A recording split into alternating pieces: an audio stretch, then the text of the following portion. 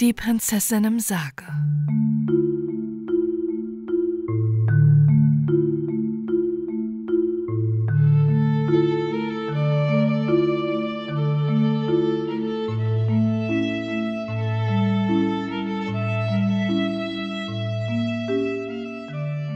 Es waren einmal ein König und eine Königin, die in einem schönen Schlosse wohnten, über ein reiches, glückliches Land regierten und sich anfangs nicht nur schrecklich liebten, sondern auch sehr glücklich miteinander lebten. Aber sie bekamen keinen Erben. Nun waren sie doch schon sieben Jahre verheiratet und hatten weder einen Sohn noch eine Tochter. Und das war für beide ein großer Kummer. Und mehr als einmal geschah es, dass der König, wenn er schlecht aufgelegt war, seine üble Laune und seinen Zorn an der armen Königin ausließ und sagte, dass sie da herumging und alt würden, ohne dass sie selbst noch das Reich einen Erben hätten, und nur sie wäre schuld daran. Solche Worte schnitten ihr in der Seele, und sie begann zu weinen und härmte sich ab. Zuletzt sagte der König eines Tages zu ihr, Jetzt ist es hier rein nicht mehr zum Aushalten. Ich muss kinderlos herumlaufen und nur du bist schuld daran. Und zu all dem soll ich ewig dein tränenzerflossenes armen Sündergesicht, das du mir vorschneidest, anschauen müssen. Jetzt reise ich fort und bleibe ein ganzes Jahr aus. Bekommst du, bis ich zurückkomme, ein Kind, dann ist alles wieder gut und ich werde dich über alle Maßen lieben und dir nie mehr ein böses Wort geben. Finde ich aber das Nest auch dann noch leer, wenn ich heimkomme, dann lasse ich mich ohne Widerrede von dir scheiden.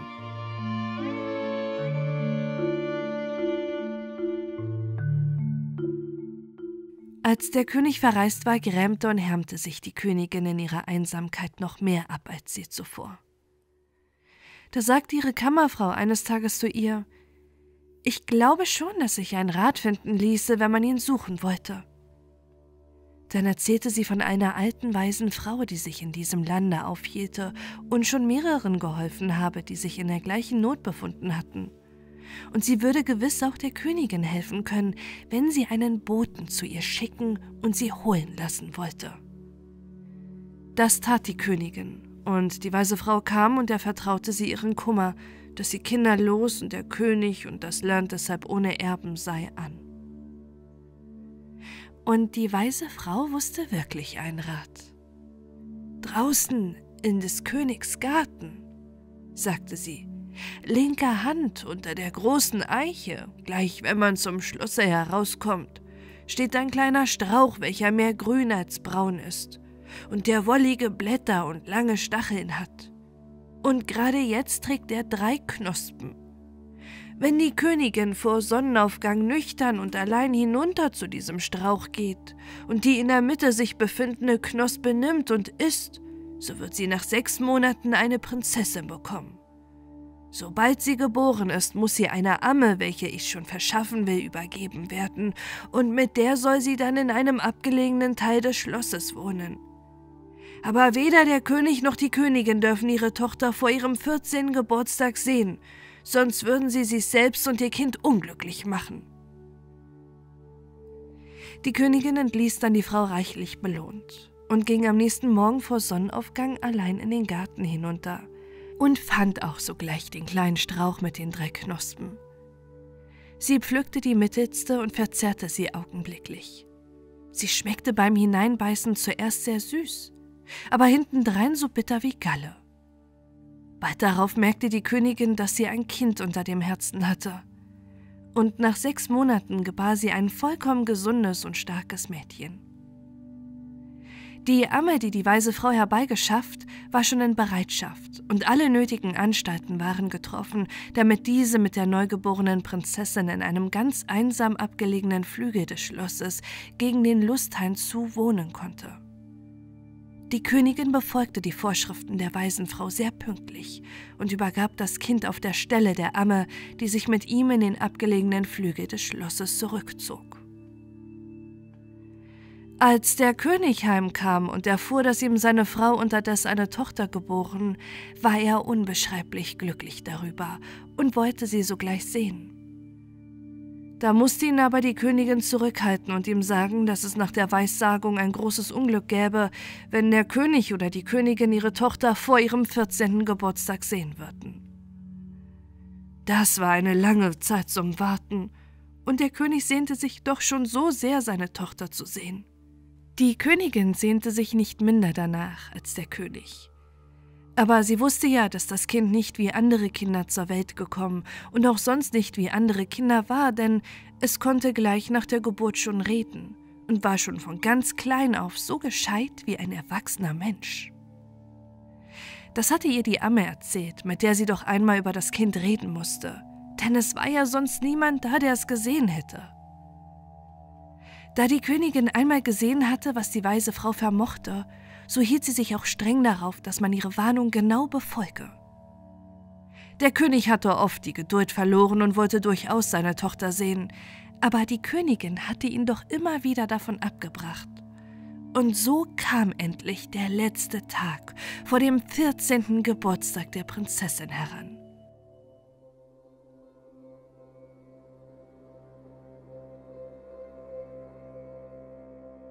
Da gingen der König und die Königin miteinander im Garten spazieren. Und der König rief auf einmal aus Jetzt kann und will ich nicht mehr länger warten. Ich muss meine Tochter augenblicklich sehen. Diese paar Stunden mehr oder weniger können doch nichts mehr ausmachen. Die Königin bat ihn so sehr sie nur konnte, doch noch bis morgen Geduld zu haben, der jetzt so lange gewartet, könnte er doch leicht diesen einzigen letzten Tag noch abwarten. Aber der König ließ sich durch nichts mehr abbringen und sagte, Mache kein Geschwätz, sie ist so gut meine Tochter wie die deine, und ich will sie jetzt einmal sehen. Und mit diesen Worten eilte er schnurgerade in die Kammer der Prinzessin hinein. Er riss die Tür auf, stieß die Arme, die ihn zurückhalten wollte, auf die Seite und erblickte dann seine Tochter, welche die schönste Prinzessin, die man sich denken konnte, war rot und weiß wie Milch und Blut, mit klaren blauen Augen und goldenem Haar. Nur gerade bei der Stirne befand sich eine einzelne kleine braune Locke. Die Prinzessin ging ihrem Vater zwar entgegen, fiel ihm um den Hals und küsste ihn, aber zugleich sagte sie auch, Ach Vater, Vater, was hast du gemacht? Jetzt muss ich morgen sterben und du musst dir dann eins von den drei Dingen auswählen. Entweder soll dein Land von der schwarzen Pest heimgesucht oder mit einem langen blutigen Krieg überzogen werden. Oder du musst mich, sobald ich gestorben bin, in einen ganz einfachen hölzernen Sarg legen und in die Kirche tragen lassen und dann durch ein ganzes Jahr allnächtlich eine Schildwache bei meiner Leiche aufstellen. Der König entsetzte sich und glaubte, sie sei wahnsinnig. Um sie aber zufriedenzustellen, sagte er, Von den drei Dingen will ich das letzte. Wenn du gestorben bist, lasse ich dich sofort in einen einfachen hölzernen Sarg legen und in die Kirche tragen, und jede Nacht soll eine Schildwache bei deiner Leiche aufgestellt werden. Aber du sollst nicht sterben, und wenn du auch noch so krank sein solltest.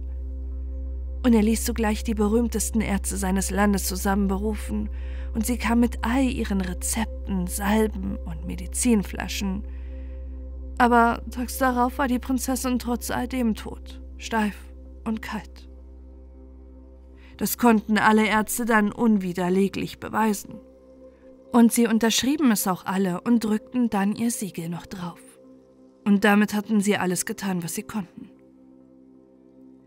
Der König hielt sein Versprechen und ließ die Prinzessin noch am selben Tag in einen einfachen hölzernen Sarg legen und in der Schlosskirche beisetzen.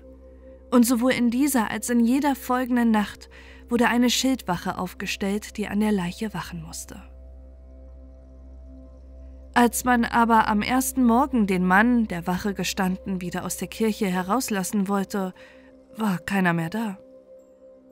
Er hat sich wahrscheinlich zu sehr gefürchtet und ist davongelaufen, dachte man. Und am nächsten Abend wurde ein anderer Mann als Wache aufgestellt, aber auch der war am anderen Morgen verschwunden. Und so ging es nun jede Nacht. Sobald man in der Früh die Wache herauslassen wollte, war keine mehr da. Und es war durchaus nicht herauszubringen, welchen Weg sie genommen, wenn sie wirklich geflohen sein sollten. Und vor was musste denn jeder, der auf diesen Posten gestellt wurde, so fliehen, dass man von der Stunde an, da er seinen Posten bezog, nie mehr etwas von ihm sehen oder zu hören bekam? Man glaubte bereits allgemein, dass die Prinzessin umgehen und jeden, der ihre Leiche bewachte, aufzehren müsste. Und bald fand sich keiner mehr, der noch Wache stehen wollte. Des Königs Soldaten desertierten, ehe die Reihe an sie kam, Posten am Sarge zu stehen. Da versprach der König demjenigen Soldaten eine gute Bezahlung, der freiwillig Wache stehen wollte. Und das half einige Zeit, denn es fanden sich doch noch vage Hälse, die sich den versprochenen guten Lohn verdienen wollten. Aber sie bekamen ihn nie, denn am Morgen waren sie jedes Mal ebenso verschwunden als alle anderen. So war fast ein ganzes Jahr vergangen. Und jede Nacht stand je nachdem eine gezwungene oder eine freiwillige Schildwache am Sarge der Prinzessin.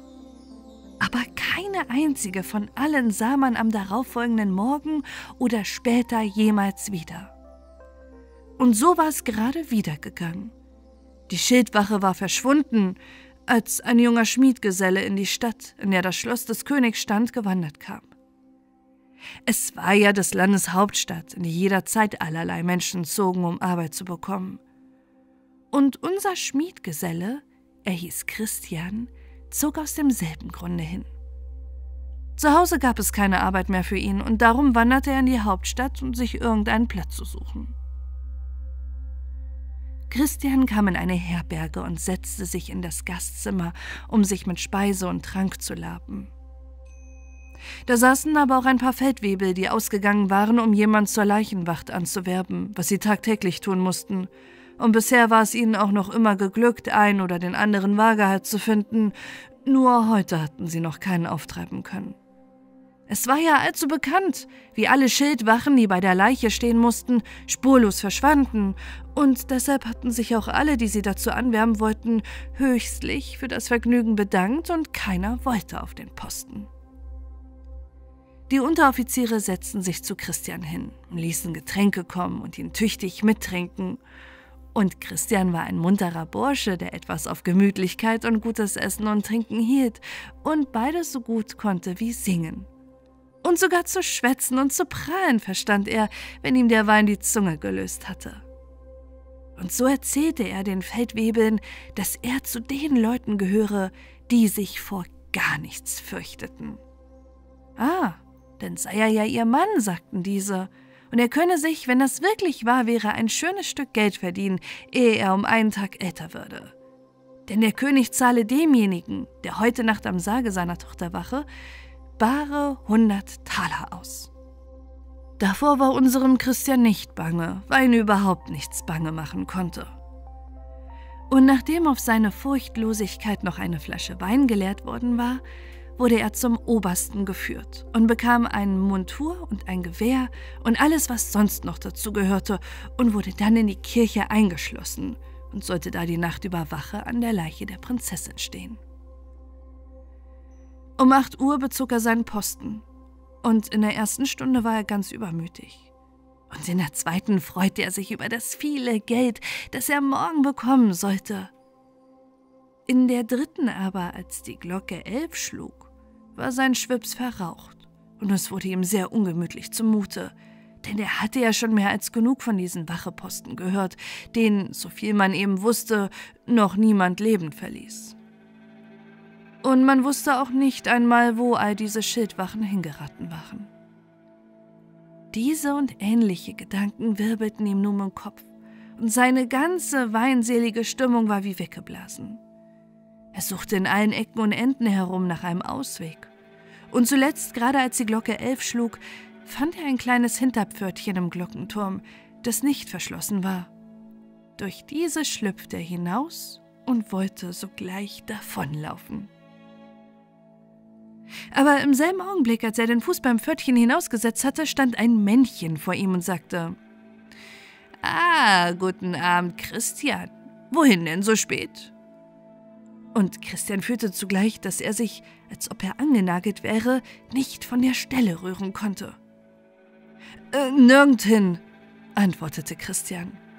Oh ja, sagte das Männchen, Du wolltest gerade mir nichts, dir nichts davonlaufen. Aber du hast dich selbst für heute Nacht als Schildwache verdingt. Und du musst an deinem Posten bleiben. Da erwiderte Christian ganz demütig, dass er sich nicht getraute und deshalb auch davonlaufen wollte. Und dann bat er ihn doch entwischen zu lassen. Oh nein, sagte das Männchen, du musst auf deinem Posten bleiben. Aber ich will dir wenigstens einen guten Rat geben. Geh auf die Kanzel hinauf und bleibe da stehen und kümmere dich um gar nichts. Was du auch sehen oder hören mögest, es kann dir nicht der geringste Schaden zugefügt werden, wenn du ruhig so lange auf deinem Platz stehen bleibst, bis du den Sargdeckel über der Leiche wieder zuschlagen hörst. Dann ist alle Gefahr vorbei und du kannst in der Kirche herumgehen, wohin du nur willst. Darauf stieß ihn das Männchen zur Hinterpforte wieder hinein und schloss hinter ihm ab. Christian beeilte sich, auf die Kanzel zu kommen und konnte nicht das geringste merken, bis es zwölf Uhr schlug.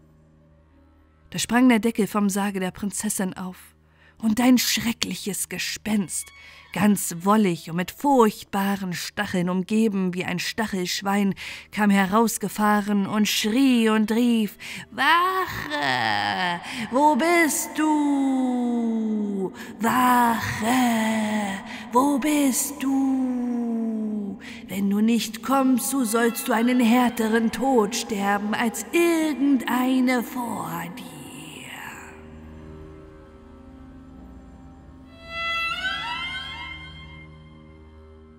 Das Gespenst fuhr in der Kirche herum, und endlich fiel ihm der Bursche auf der Kanzel oben in die Augen, und es stürzte sich sogleich auf ihn los und die Stufen zur Kanzel hinauf. Aber es konnte doch nicht ganz hinaufkommen und so sehr es sich auch reckte und streckte, es konnte den Christian nicht berühren, der zitternd und bebend auf der Kanzel stand. Als es aber einschlug, musste das Gespenst in seinen Sarg zurück, und Christian hörte den Deckel zuschlagen, und Totenstelle herrschte wieder in der Kirche. Da legte er sich da nieder, wo er stand, und schlief ein, und erwachte nicht eher, als es bis helllichter Tag war, und draußen vor der Kirche Tritte vernahm und deutlich hörte, wie der Schlüssel ins Schloss gesteckt wurde. Da eilte er geschwind herunter von der Kanzel und stellte sich mit dem Gewehre vor dem Sarg der Prinzessin auf. Es war der Oberst selbst, der mit der Wache kam und nicht wenig verwundert war, seinen Rekruten so wohlbehalten wiederzufinden. Er wollte zwar Rapport erstattet haben, aber Christian wollte nichts melden. Dann führte man ihn sogleich zum König mit der Meldung, die man heute zum ersten Male machen konnte, dass er die Schildwache sei, welche nachts Posten in der Kirche bei der Prinzessin gestanden. Als der König das vernahm, war er rasch auf den Beinen, legte die hundert Taler vor Christian auf den Tisch und wollte ihn ins Verhör nehmen. Hast du etwas gesehen? fragte der König. Hast du meine Tochter gesehen? Ich habe auf meinem Posten gestanden, erwiderte der Schmiedgesell. Und das muss euch genug sein, denn etwas anderes habe ich nicht auf mich genommen. Er wusste ja nicht, ob er sagen dürfe, was er gesehen und gehört. Und außerdem war er etwas übermütig geworden, weil ihm gelang, was keiner vor ihm konnte und wozu auch sonst niemand den Mut hatte. Der König tat, als ob alles für bare Münze nähme und fragte ihn, ob er auch für nächste Nacht Schildwache stehen wollte. Nein, schönsten Dank, rief Christian aus. Ich habe schon mit dem ersten Mal genug. Ich will nicht noch mehr davon haben. Wie du willst, sagte der König. Übrigens hast du dich als ein braver Geselle gezeigt und sollst jetzt dein Frühstück haben, denn du wirst nach einer solchen Tour schon eine Stärkung brauchen können. Und der König ließ für ihn decken, auftragen und anrichten und setzte sich selbst zu ihm an den Tisch schenkte dem Schmiedgesellen fleißig ein und lobte ihn und trank ihm zu. Und Christian ließ sich nicht erst dazu nötigen. Er langte tüchtig zu, obwohl bei den Speisen als den Getränken, und besonders waren es die letzteren, welche er nicht am wenigsten zusprach. Da trank er sich wieder Courage an und sagte zum König, wenn er ihm 200 Taler geben würde, dann wolle er der Mann sein, der auch in dieser Nacht Wache stände. Als das abgemacht war, verabschiedete sich Christian und ging in die Wachstube hinunter und ging, begleitet von einigen anderen Soldaten und Unteroffizieren, vor die Stadt spazieren. Er hatte die Taschen voll Geld und traktierte alle und hängte ihnen Haarbeutel an. Dann fing er an zu prahlen und hielt die jämmerlichen Kerls, die sich nicht getrauten, Wache zu stehen, weil sie sich fürchteten, vor der toten Prinzessin gefressen zu werden, zum Narren. Sie sollten doch schauen, wie sie ihn gefressen habe. Und so verging der Tag in Lustigkeit und Freude. Aber als es acht Uhr schlug, wurde Christian wieder allein in der Kirche eingeschlossen. Noch ehe jedoch zwei Stunden vorüber waren, langweilte er sich so, dass er nur mehr daran dachte, wie er entschlüpfen könnte. Er fand ein Pförtchen in der Nähe des Altars, welches nicht verschlossen war, und um zehn Uhr schlich er sich zu demselben hinaus und machte sich auf die Beine und wollte zum Strand hinuntereilen. Er kam bis zur ersten Hälfte des Weges. Da stand plötzlich dasselbe Männchen von gestern vor ihm und sagte: Ah, guten Abend, Christian. Wo willst du denn noch hin? Ich habe die Erlaubnis hinzugehen, wohin ich will, erwiderte der Schmiedegesell.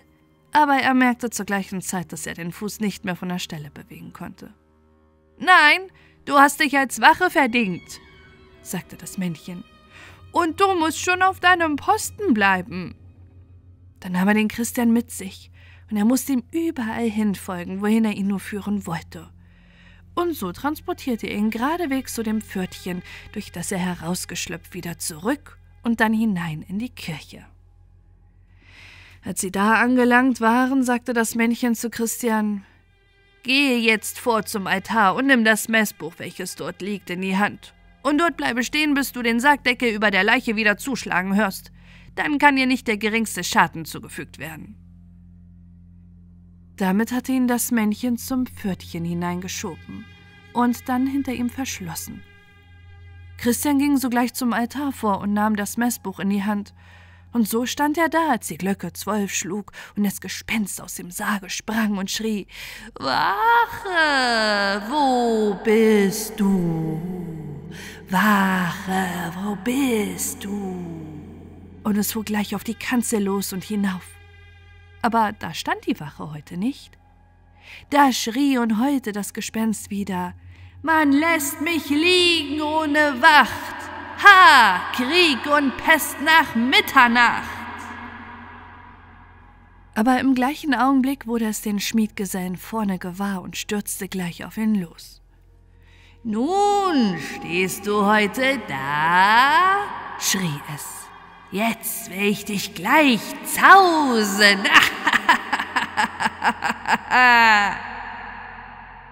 Aber es konnte nicht über die Beetstaffel hinaufkommen. Darum hörte es nicht auf zu schreien, zu toben und zu drohen, bis es ein Ohr schlug. Da musste es wieder in den Sarg zurück. Und Christian hörte, wie der Deckel über demselben zuschlug. Heute sah das Gespenst doch nicht mehr so aus wie in der vorherigen Nacht. Es war wohl noch wollig, aber es hatte keine Stacheln mehr.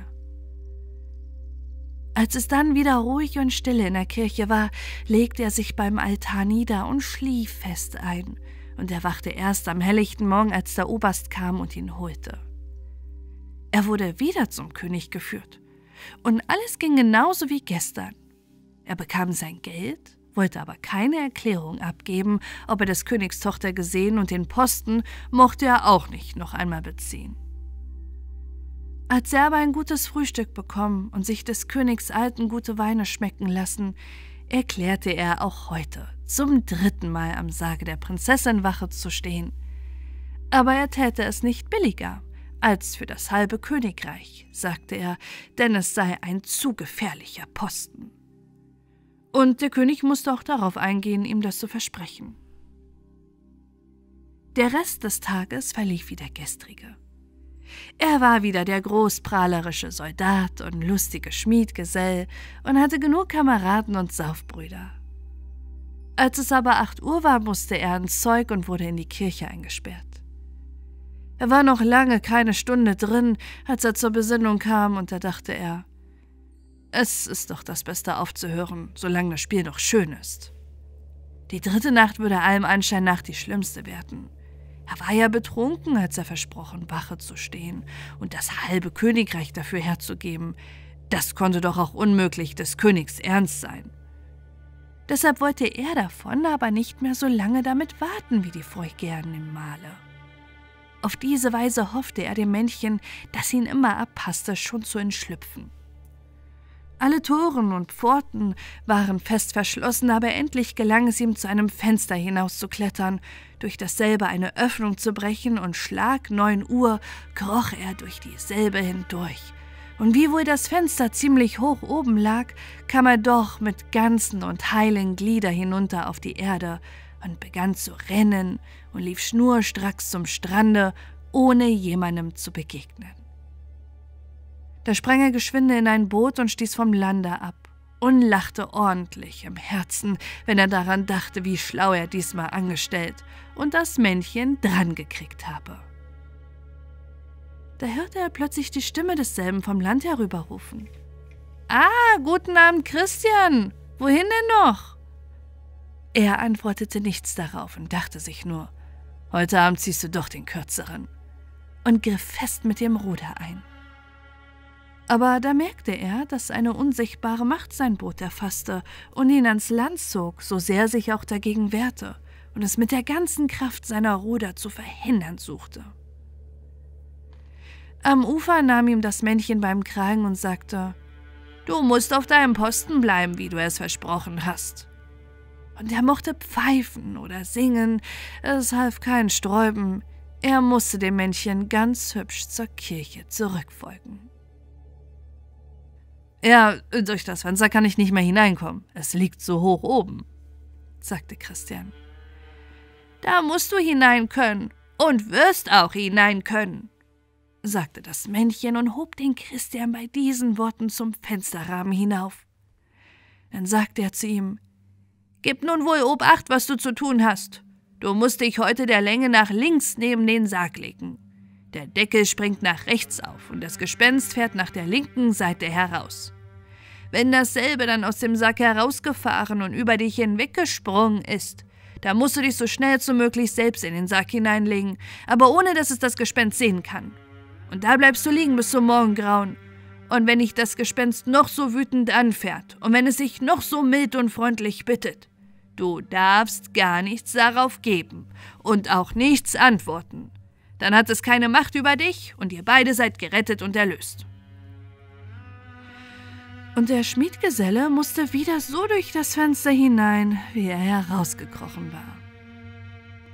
Als er sich in der Kirche drin befand, legte er sich gleich, so lang als er war, links neben den Sarg der Prinzessin nieder, und zwar ganz knapp an denselben angeschmiegt. Und da blieb er da liegen, steif wie ein Stock, bis die Glocke zwölf schlug, der Sargdeckel nach rechts aufsprang und das Gespenst der Prinzessin gerade über ihn hinweg in die Kirche hinauf herausfuhr und schauerlich heulte und schrie: Wache! Wo bist du? Wache! Wo bist du?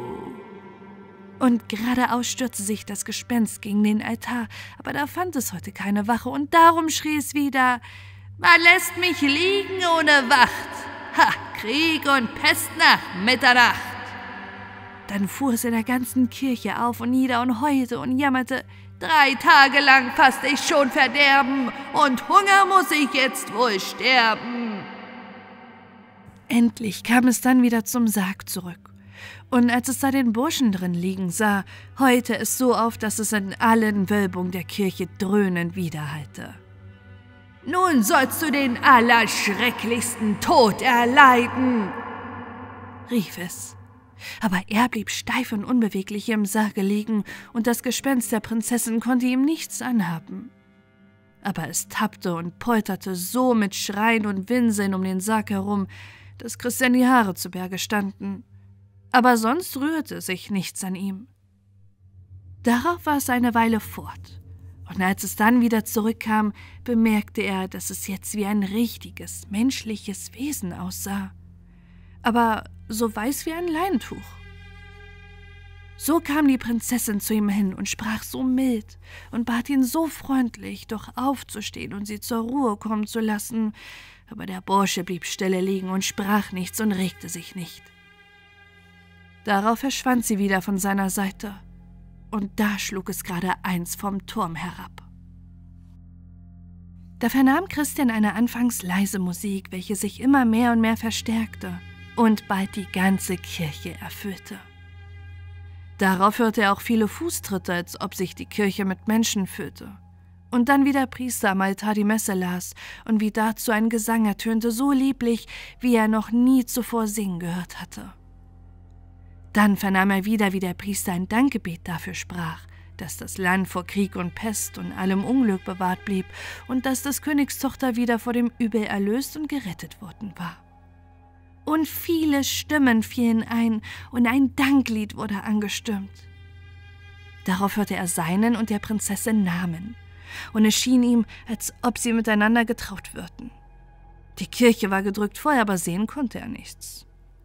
Alsdann vernahm er wieder die vielen Fußtritte, als ob die Leute die Kirche jetzt verließen, während die ganze Musik ertönte, anfangs noch voll und laut und dann immer leiser tönend, bis sie schließlich ganz verklang.